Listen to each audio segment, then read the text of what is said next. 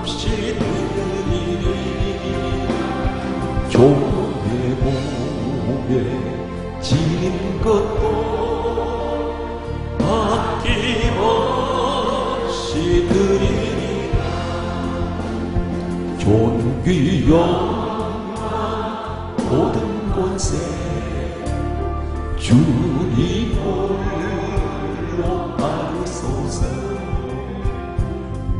시전에 십자가는 제가 지고 가오리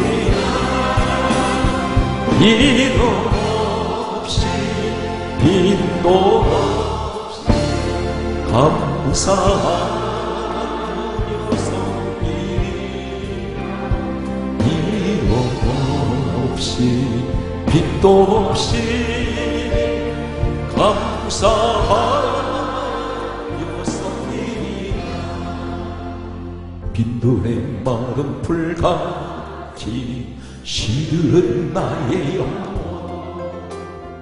주님의 허락한 성령 간절히 기다리네.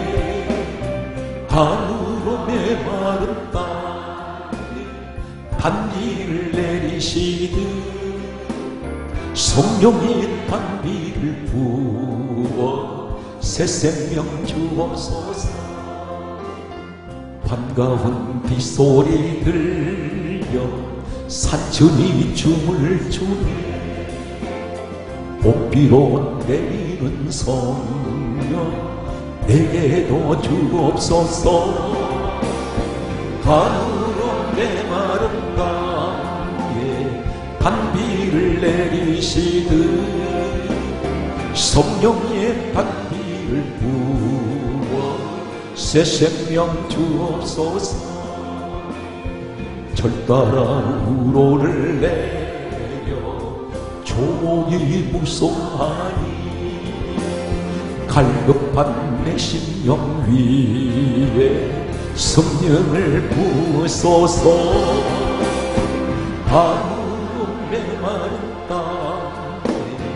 단비를 내리시듯 성령의 단비를 부어 새 생명 주옵소서 참되신 사랑의 원약 어길 수 있사오랴.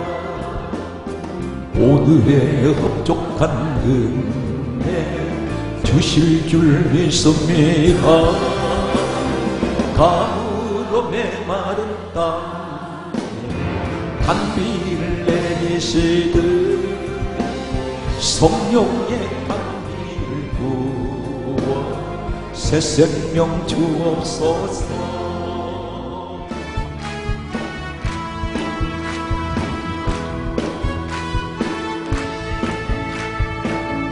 내 영혼이 은총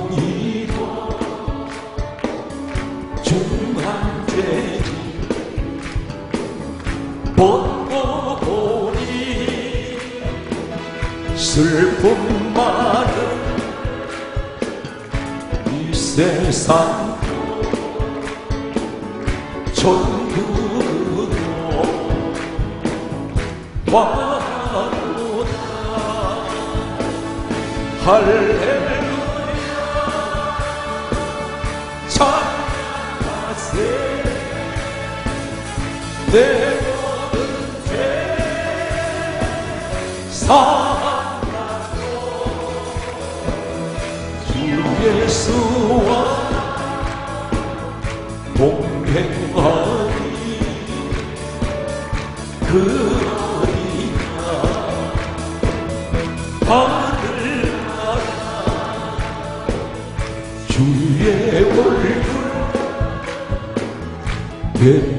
전 멀리 하늘나라.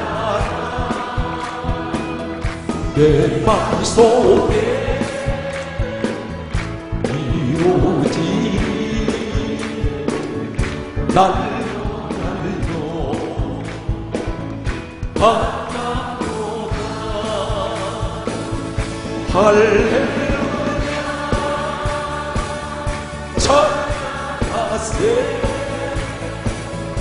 내 모든 죄. 사랑하고 주 예수와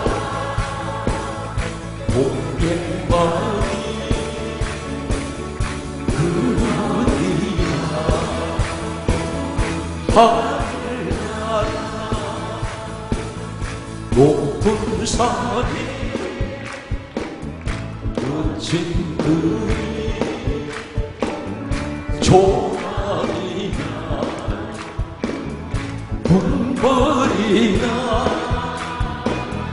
내 주 예수. 모신 곳이 그리나 하늘나라. 할렐루야. 찬양하세. 내 모든 죄 사랑 예수와 동행하니 그리나 하늘나라 나 주를 멀리 떠났다 이제 옵니다 나 죄의 시달 주여 나의 내 집을 찾아 주여 나를 받으사 맞아주소서 그 귀한 세월 보내 이제 옵니다. 나뉘 주여 옵니다. 나 이제 왔으니 내 집을 찾아 주여 나를 맞아주소서 나 죄의 영혼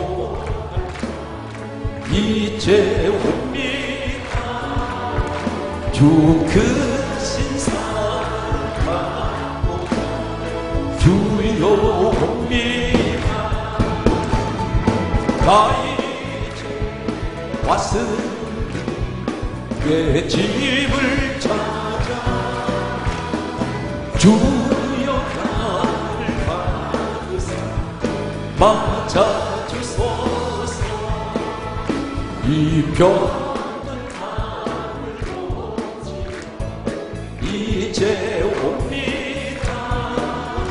큰 힘과 소망 받아 주여 옵니다. 나 이제 왔으니 내 집을 찾아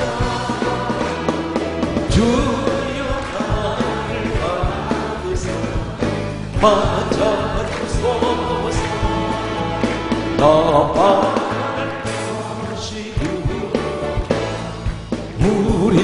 주 예수 날 위해 돌아가시 믿고 믿나 나 이제 왔으니 내 집을 찾아 주여 나를 받으사 맞아주소서 괜찮는 주님의 사랑 거룩한 고요의 우리 다 찬양 주님을 만나볼 때까지. 예수는 우리 깨끗게 하시는 주신 그의 피 우리 눈보다 더 있게 우리를 깨끗게 하니 무궁한 생명의 우리세 생명을 구원하시고 하나님 찬양을 하시 예수는 우리를 깨끗게 하시는 주시니 그의 피 우리를 눈보다 하셔 주님의 깨끗한 보혈. 날마다 입으로 간증 담대히 싸우며 나갔으 천국에 들어갈 때까지 예수는 우리 깨끗게 하시는 주시니. 그의 피 우리를 눈보다 더 있게 돌이 잡고 날마다 이기며 거기에 누가 주 앞에 찬양할 때까지.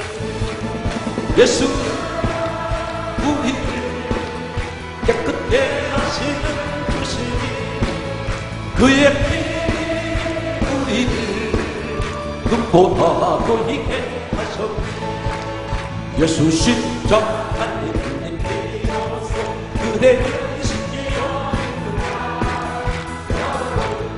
비계한 능력을 그대는 차고지 예수의 보혈로 그대를 지키어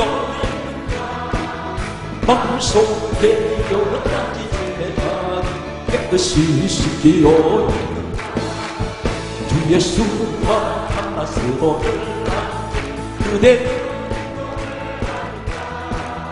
아무 때나 그대 그대 십자가 끌고 있는 예수의 보혈로 그대를 씻기어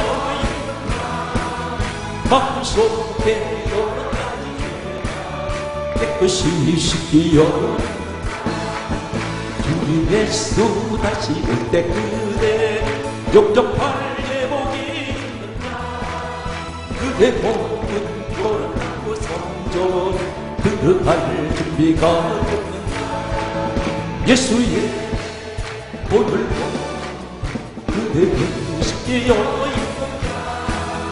마음속에 여러 가지 죄가 깨끗이 씻기어 모든 죄에 더러워진 내몸주 앞에 나서서 샘물같이 솟아나는 오열 눈보다 눈이게 예수의 보혈로 그대를 씻기어 마음속에 여러 가지 죄가 깨끗이 씻기 어 요사이 길을 걷다 보면 한결같이 사람들의 모습이 다 우울해 있습니다. 얼굴이 전부 어둡기만 합니다. 웃는 얼굴을 거의 볼 수가 없습니다. 분명히 이 시대는 재난의 시대고 재앙의 시대인데 자연으로 인한 여러 가지 환경 오염 또 우리나라 같은 경우는 최근에 일어나는 빈번한 지진 또 전쟁의 위협 사방에 둘러서 있는 강대국 사이에 끼어 있는 이런 우리나라의 모든 여건을 보게 되면 불안하고 두렵습니다. OECD 국가 가운데 이혼율이 자꾸 증가하고 있는 나라가 우리나라입니다. 자살률이 계속해서 증가하고 있습니다. 가정에도 사회에도 국가적으로도 대단한 위기의 시대를 우리는 맞이하고 있고 또 현실 속에 살아가고 있습니다.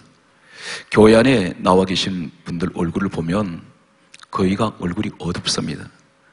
밝은 얼굴 해야 되는데 불구하고 환경은 그렇게 우리를 그냥 두지 않습니다. 하나님은 누구를 만나실까요? 하나님은 누구의 기도를 들으실까요? 우리는 계속해서 이런 어려운 현실 앞에 늘 기도합니다. 밤낮 없이 기도합니다. 그런데 기도를 아무리 해도 하나님은 전혀 침묵하고 계시고 전혀 내게 어떤 응답이 아무런 현상이 일어나지 않습니다. 이런 답답한 영적 생활을 하는 우리들에게 말씀으로 찾아오신 하나님은 오늘 우리에게 어떻게 하면 하나님을 만날 수 있는지 이 사실에 대해서 오늘 성경은 우리에게 한 가지를 가르쳐 주고 있습니다. 성경 말씀을 잠깐 기록을 하겠습니다. 창세기 18장 1절과 창세기 18장 10절 창세기 43장 16절과 열왕기상 18장 성경 말씀 보게 되면 27절 그리고 40절을 소개하겠습니다. 성경에 나타나는 믿음의 사람들이 많이 등장하고 있습니다. 그 가운데 하나님께서 어디부터 믿음을 출발시키냐면 아브라함이라는 사람으로부터 출발을 시키고 있습니다. 그래서 성경 말씀을 보게 되면 마태복음 1장 1절에 신약 성경은 가장 첫머리가 아브라함과 다윗의 자손 예수 그리스도의 세계라. 아브라함부터 출발시키고 있습니다. 아브라함은 누구입니까? 로마서 4장 11절에 아브라함을 가리켜 믿음의 조상이라고 하나님이 칭호를 내렸던 이 사람입니다. 이 사람은 어떤 신앙일까요? 꿈을 좋아하는 신앙이 아니고 환상을 좋아하는 신앙이 아닙니다. 이 사람의 신앙은 한마디로 말해서 창세기 12장 4절에는 아브라함을 처음 하나님 부르심 받았을 때 성경은 다음과 같이 강조하고 있습니다. 아브라함이 여호와의 말씀을 따라갔고 말씀을 쫓아가는 신앙이었습니다. 우리에게 말씀하고 있습니다. 신약에는 갈라디아 3장 9절에 말씀하기를 누구든지 아브라함 같은 믿음을 가진 자는 아브라함과 함께 복을 받았다고 말씀합니다. 아브라함의 신앙은 어디 신앙입니까? 어디부터 출발합니까? 말씀부터 출발하고 있습니다. 우리의 믿음은 어디서 옵니까? 분명히 성경은 강조하기를 로마서 10장 19절 이하의 말씀을 보면 성경은 우리에게 다음 같은 말씀합니다. 반드시 우리의 믿음은 어디서 오느냐? 따라서 말씀을 믿는 것이 믿음입니다. 그러면 그 말씀이 누구인가요? 우리는 때론 귀가 아프게 잘 알고 있습니다. 말씀이 누구입니까? 참고로 말씀을 드립니다. 항상 우리가 말씀 듣는 신앙이 되어야 될 이유는 말씀이 하나님이라 하셨습니다. 오늘 시간 하나님은 어떻게 오셨습니까? 말씀을 통해서 오세요. 말씀을 통해서 응답하시기도 하고 말씀을 통해서 능력도 주시고 말씀을 듣는 가운데 성경은 강조하고 있습니다. 사도행전 10장 44절에는 이 시대는 성령 시대인데 성령님이 임하시는 자리는 어디입니까? 말씀 듣는 사람에게만 성령이 임하십니다. 오늘 말씀 있는 곳에 성령이 계시고 말씀 있는 곳에 하나님이 계십니다. 오늘 그런데 아브라함으로부터 시작되는 믿음의 조상 이 사람부터 출발되는 단어가 하나 있습니다. 이 단어는 아브라함에게만 적용된 단어가 아니었고 오늘 소개되고 있는 요셉이라는 사람에게도 똑같은 단어가 소개되고 있고 그리고 또 시대는 흘러서 엘리야 시대에 왔을 때도 똑같은 단어가 소개되고 있습니다. 그리고 이 사람 다음에 또 어떤 일이 있냐면 느헤미야 시대에 에스라는 사람한테 또 이 단어가 적용되고 있고 그리고 이사야 시대에 또 왔는데 이사야 시대에도 또 이 말씀이 적용되고 있습니다.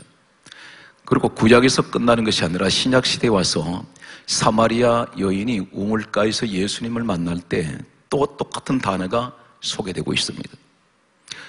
베드로가 지붕에 올라가서 기도할 때도 똑같은 단어가 또 소개됩니다.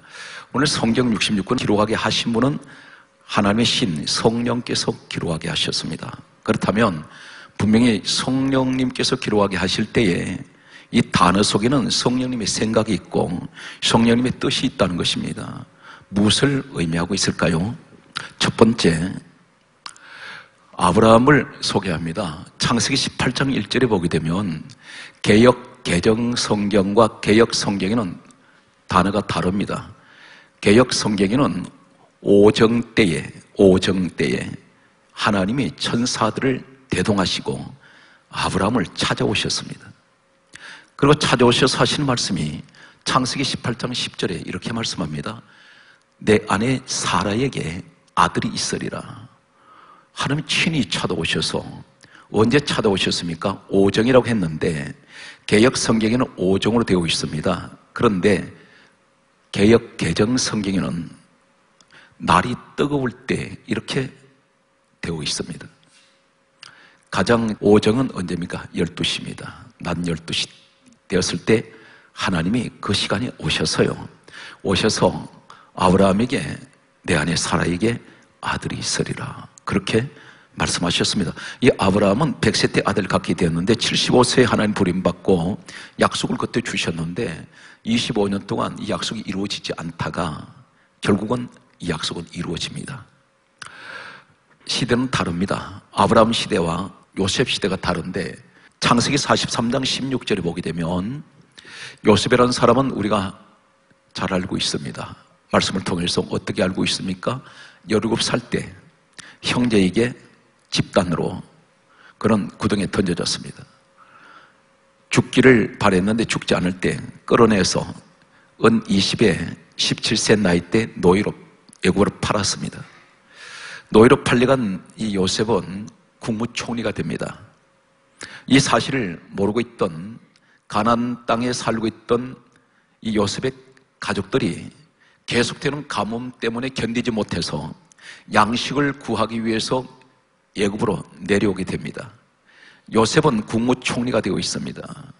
예굽 땅에 들어온 그들을 보았을 때 요셉은 다 죽일 수 있습니다.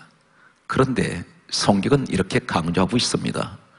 창세기 43장 16절에 하는 말이 요셉이 이렇게 말합니다. 그 형제들과 화해를 하고 그 형제들을 용서할 때 하는 말이 이렇게 말합니다. 정오 때에 나와 함께 먹을 것이니라 이렇게 말합니다. 뭘 먹습니까? 음식 자리에 그들을 초대합니다. 언제 초대합니까? 정오 때에 12시입니다. 아브라함도 하나님께서는 12시 오정에 찾아오셨고 그리고 기다렸던 응답을 주셨고 요셉은 자기 형제들을 원수들을 용서할 때에 정오 때에 음식상을 차려놓고 그들과 함께 그 자리에서 용서를 합니다. 흐름은 계속됩니다. 또 내려옵니다. 아브라함 시대가 끝이 나고 요셉 시대가 또 시작되고 요셉 시대가 끝이 나고 열왕상 18장 27절 말씀을 보면은 이번에는 엘리야 시대가 왔습니다. 엘리야가 갈멜산에서 바알 선지자 아시라 선지자와 전투를 하게 됩니다. 이때 바알 선지자는 450명입니다. 이들은 누구냐면 사탄 마귀 무리들입니다.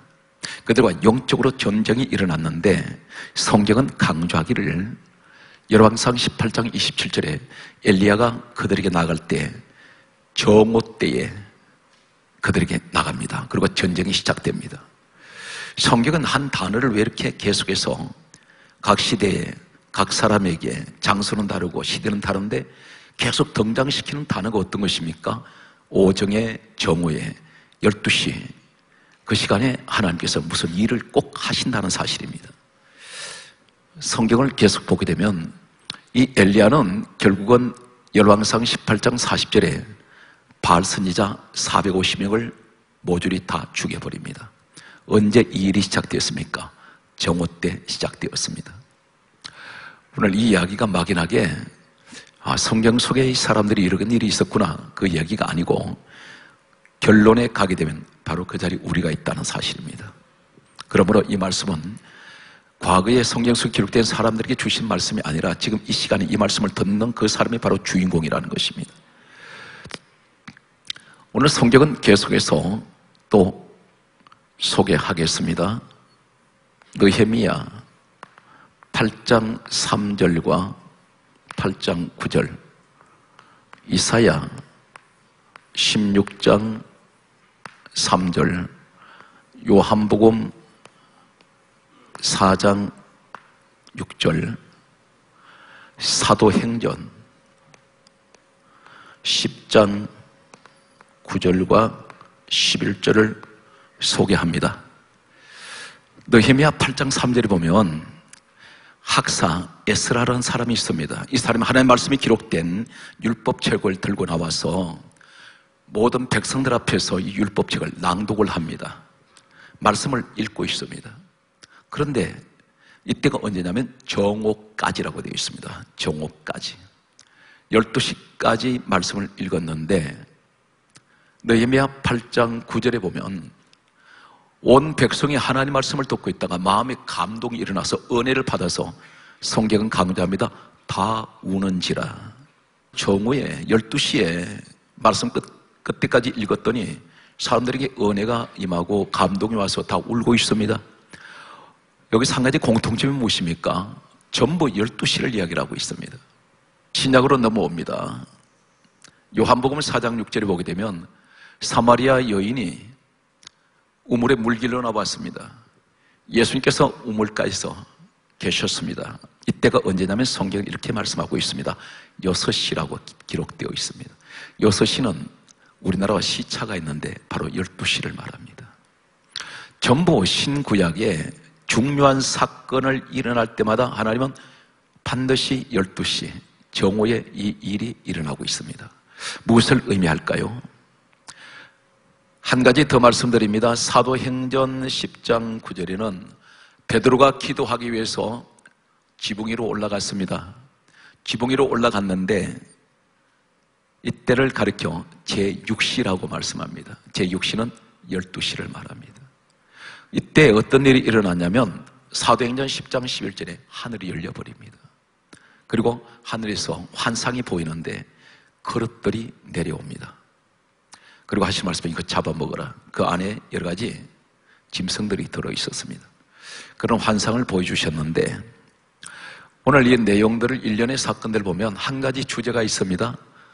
전부 오정에, 정오에 이런 일이 일어나고 있습니다. 무엇을 말할까요? 오정이라는 것은 언제입니까? 12시는 해가 가장 가까이 있을 때가 낮 12시입니다. 이 사건은 뭘 의미할까요? 성경에서 우리가 성경으로 해석을 합니다. 10편, 84편, 11절에 거기에 따라서요. 여호와 하나님은 해요. 하나님을 가리켜 해로 상징하고 있습니다. 하나님이 해는 아니십니다. 하나님 태양은 아니신데 상징적으로 무엇을 말씀하냐면 하나님을 해로 비유적으로 말씀하고 있다는 것입니다. 그렇다면 오늘 여호와 하나님은 해라고 말한다면 해와 지구가 가장 가까운 시간이 정오입니다. 12시간입니다. 무엇을 말씀하는지 아세요? 오늘 하나님이 나를 통해서 어떤 일을 행하신다고 할 때 언제 일하시느냐?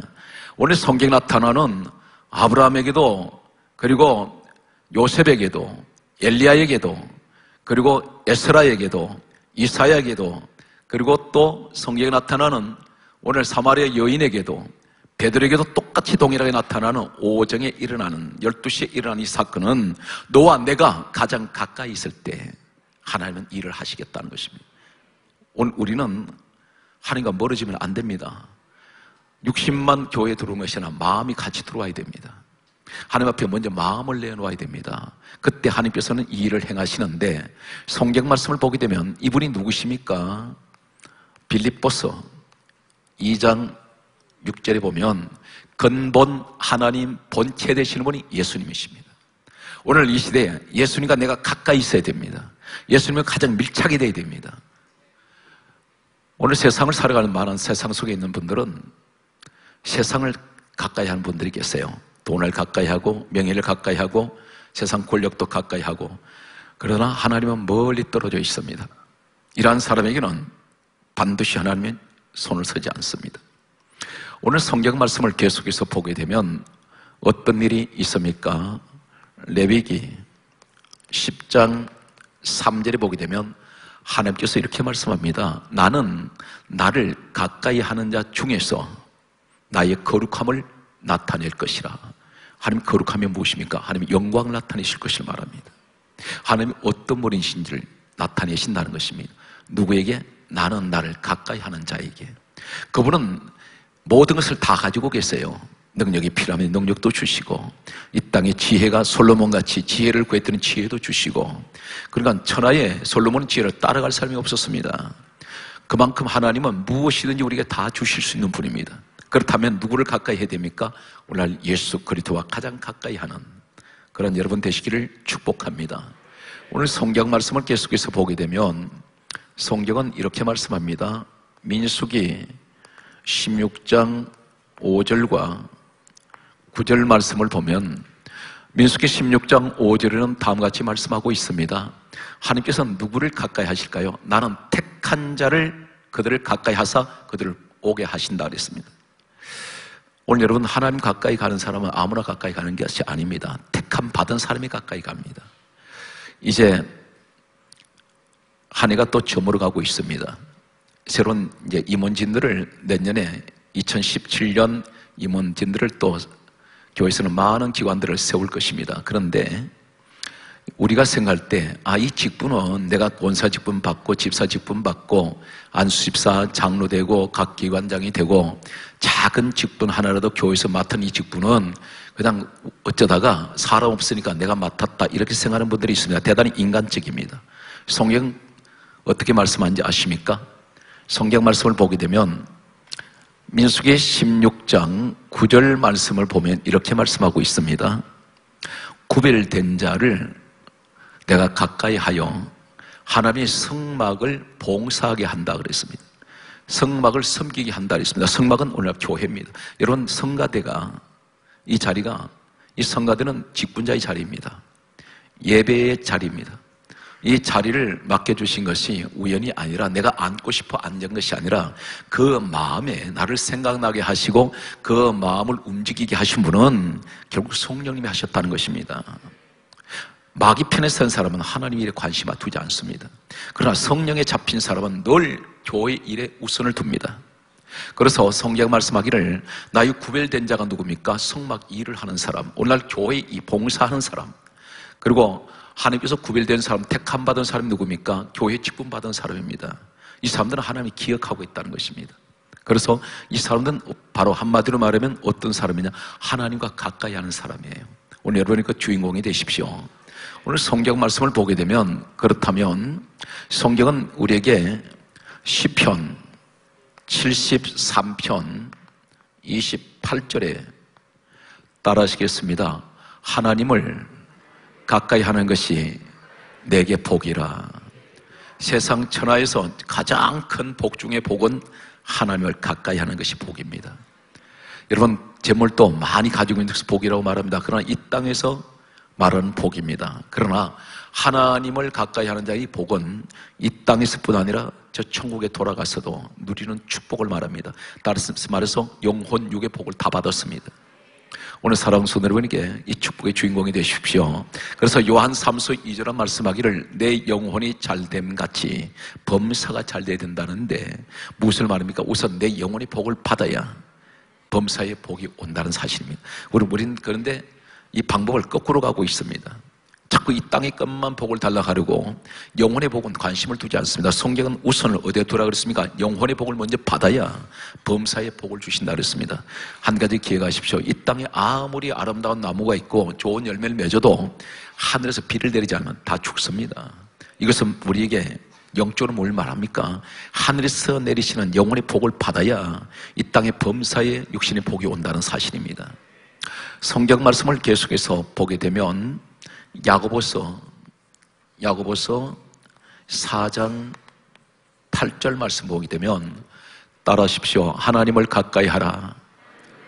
거기 하세요. 그리하면 너희를 가까이 하시리라. 조건부입니다. 하나님을 네가 먼저 가까이 오라는 것입니다. 그러면 하나님이 너희를 가까이 하실 것이다.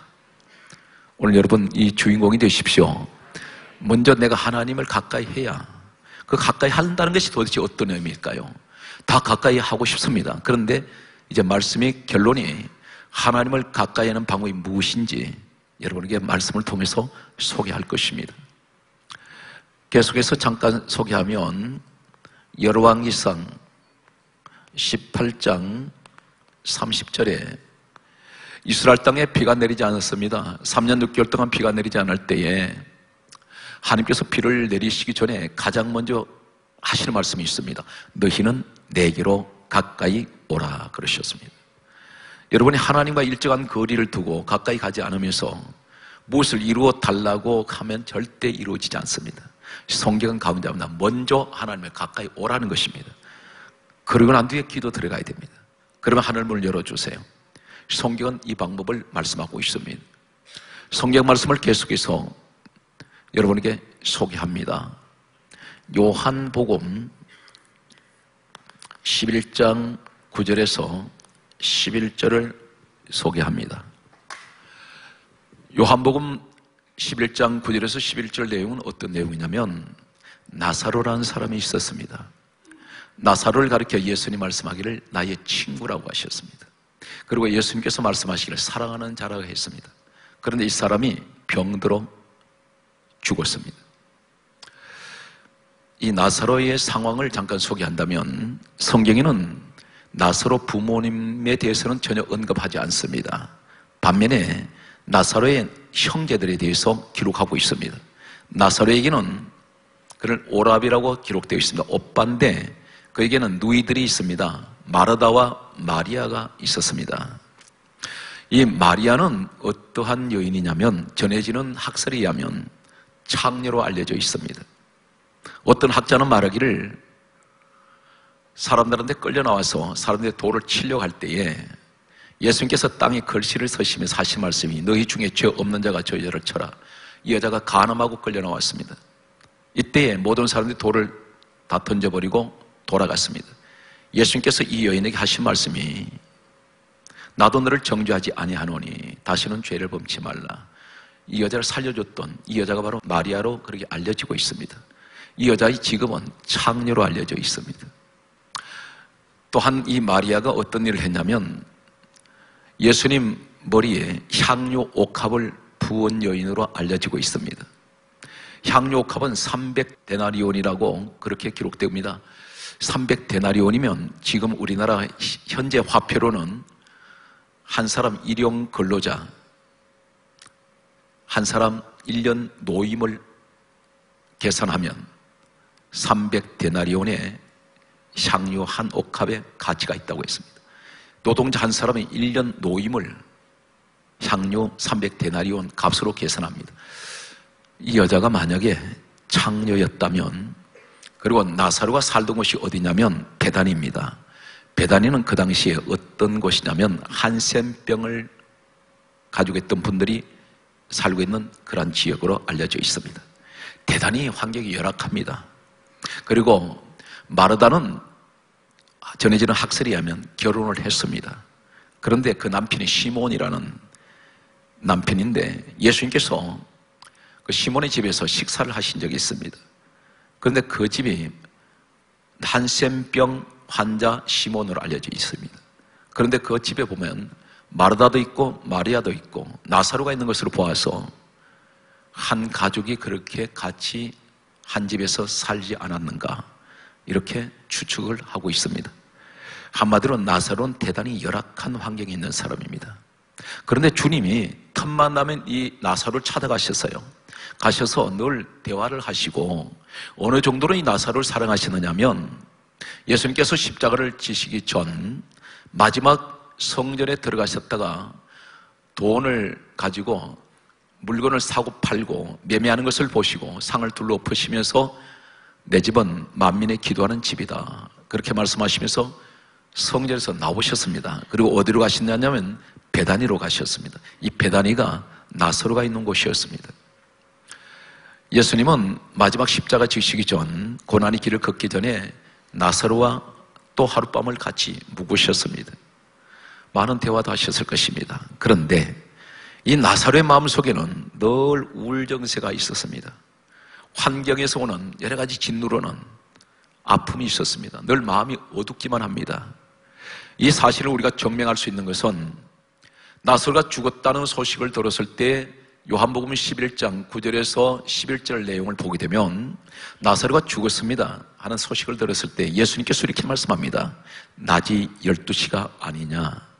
이 말이 무슨 말입니까? 낮이 12시가 아니냐.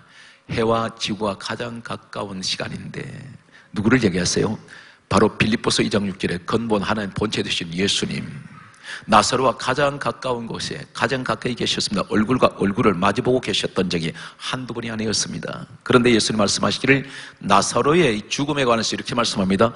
낮이 12시가 아니냐 사람이 낮에 다니면 이 세상 빛을 범으로 실족시 아니하고 이 세상 빛이 무엇일까요? 성경은 이렇게 말씀하고 있습니다. 요한복음 8장 12절에 예수님 말씀하시기를 나는 세상의 빛으로 왔나니 예수님이 세상의 빛입니다. 그런데 낮에 다니면 밝은 곳에 있으면 이 세상 빛을 보므로 실족시 아니하고 그 다음에 하신 말씀이 이렇게 말씀합니다. 사람이 밤에 다니면 빛이 그 사람 안에 없는 거로 실족하느라 나사를 두고 하신 말씀이었습니다. 무슨 말이냐면 여호와 하나님은 해라고 했는데 오늘 12시에 오정에 정오에 놀라운 일들이 일어나는 것은 오늘 하나님과 내가 가장 가까이 있을 때 여러 가지 능력과 많은 기적이 일어나는데 나서로는 어떤 사람입니까? 나서로와는 늘 가까이 하시고 가까이 계시지만 나서로 마음속에 늘 지배하고 있는 것은 어둠이었습니다. 생명빛이 들어오지 않습니다. 왜 그렇습니까? 예수님을 뵐 때마다 이 사람은 한 분의 인간 예수를만 보았습니다. 참 좋으신 분, 참 사랑이 많으신 분, 인자하신 분. 그런데 이 사람 마음속에 저분은 생명의 빛이야. 저분은 구원의 주, 하나님 아들 메시아야. 이런 마음이 들어오지 않았습니다.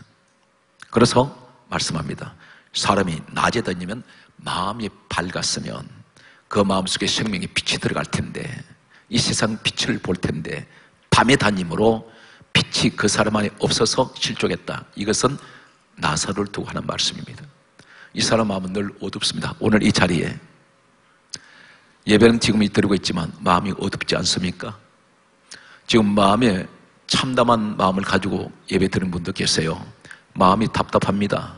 한 가지 기억하십시오. 하나님은 그 어두운 마음 속에는 역사하지 않습니다. 어떻게 됩니까? 내게 빛이 들어와야 됩니다. 왜 그렇습니까? 예수님이 빛입니다. 오늘 하나님이 성경에 이렇게 말씀하고 있습니다. 어떻게 우리에게 말씀할까요? 요한 1서 1장 5절에서 7절에 말씀하기를 결론의 말씀이 되겠습니다. 하나님은 빛이시라. 따라서요, 그에게는 어두움이 조금도 없으시느니라. 대단히 중요한 말씀합니다. 하나님이 빛 가운데 계신 같이 우리도 빛 가운데 행하면 서로 사귐이 있고 기도하실 때 긍정적으로 하십니까? 아니면 부정적으로 하십니까? 기도할 때 마음이 밝은 마음으로 기도하십니까? 아니면 어두운 마음으로 기도하십니까? 기도할 때 하나님이 이루어 주실 것이라는 확신을 가지고 기도하십니까? 아니면 기도하고 나는데 실망하고 절망하고 또 불평하십니까? 하나님의 기도 응답은 우리가 유창한 기도를 한 데서 그것이 능력인 기도가 아니에요. 오랫동안 기도한 데서 그것이 하나님께서 받는 기도가 아니라 어떤 기도를 해야 되냐. 오직 믿음으로 구하고 조금도 의심하지 말라 그랬어요. 의심할 때는 마음이 어두워져 버립니다. 여러분들이 환경을 돌아보면 때론 비참하기만 합니다. 나는 무슨 세상 말로 말한다면 내 팔자가 이렇게 고생만 하다가 고난 가운데다가 시궁창처럼 처박혀서 세상에 온갖 오물 다 뒤집어 쓰고 살아가는 이런 모습으로 나는 살아야 될까? 시궁창 인생이라고 말한 분들이 있습니다. 그런데 중요한 것은 어떤 삶의 자리에 있다 할지라도 내 하나님을 바라볼 때 소망의 눈으로 바라보면 반드시 성경 말씀입니다. 너 믿은 대로 되게 해 주신다 했습니다. 그래서 꼭 것은 기도할 때 믿음으로 구하십시오. 그 믿음이 어떤 것입니까? 긍정적인 믿음입니다. 안 되는 것을 되게 하는 것이 믿음입니다. 이 일은 누가 하세요? 하나님이 하세요. 그분이 누구십니까? 전능하신 분입니다. 그분은 다 가지고 계십니다. 능치 못할 일이 없다고 우리한테 말씀하셨습니다. 믿는 자에게는 능치 못할 일이 없느니라 그랬습니다. 안 되는 일이 없다는 것입니다. 이것은 분명 내 마음에 있는 사람은 그 사실 믿고 있습니다. 그런데 믿음이 없는 사람은 마음이 어둡기만 합니다. 기도할 때도 독백처럼 기도합니다. 확신을 가지지 못합니다. 오늘 사랑하는 성도 여러분, 말씀의 결론이 어떤 것이냐면 영적인 우울증 걸리지 마십시오. 우울증은 한마디로 마음이 어둡게 만듭니다. 그리고 늘 비관하게 만듭니다. 부정적으로만 보게 됩니다. 그래서 절망하다 보면 우울증을 심하게 앓다 보면 자살 충동까지 느끼게 되고 자살을 하게 되는 사람들 보게 되면 대개가 우울증 정세를 거쳐서 자살까지 하는 분들이 있습니다. 이분들은 정신과 의사가 그렇게 말했습니다. 우울증 정세는 자동차만 지나가도 뛰어들어가고 싶고 고층 빌딩에 올라가면 뛰어내리고 싶은 충동을 느낀다고 했습니다. 줄만 보이면 목을 메고 싶고 이것이 왜 그렇습니까? 영적으로 보면 사탄이 짓이요. 또 한 가지를 보게 되면 우리 마음이 늘 부정적이기 때문에 그렇다는 것입니다. 오늘 사람 성들은 믿음의 사람은 환경을 보지 않습니다. 믿음의 사람은 무엇을 봐야 됩니까? 우리 하나님을 바라보는 눈을 가져야 됩니다. 이 눈을 가지면 이건 비전의 눈입니다. 오늘 성경은 말씀합니다. 안 되는 것을 대기하시는 우리 하나님. 오늘 소망의 마음을 갖는 여러분들에게 반드시 오늘 여러분 축복의 주인공이 될 수 있습니다. 그래서 오정에 나타나시고 12시에 오시는 꼭 일을 하시는 우리 하나님은 무엇을 말합니까? 하나님께서 말씀합니다. 너와 내가 가장 가까이 있을 때 내가 이 일을 행할 것이다. 오늘 성도 여러분, 이 한 주간 어쩌면 우리 평생의 남은 삶 속에 항상 소망의 마음을 가지고 마음의 생명의 빛을 가진 예수 그리스도의 진정한 이 시대 그리스도인 되시기를 주의 이름으로 축복합니다.